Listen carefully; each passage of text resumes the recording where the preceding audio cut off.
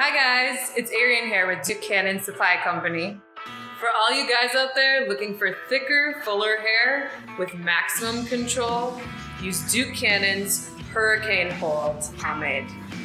To use, we're going to scoop a small amount and work it evenly into the hands to avoid any large globs. Personally, I think this works well on short or medium length hair. We're going to work it into towel dried hair, always starting at the roots. We can use our hands or a comb to achieve the desired look. Like the fiber, this also has a nice matte finish.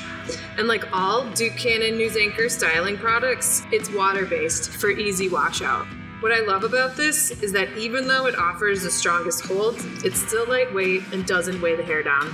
Remember, for News Anchor thick hair with maximum control, use Duke Cannon's Hurricane Hold pomade.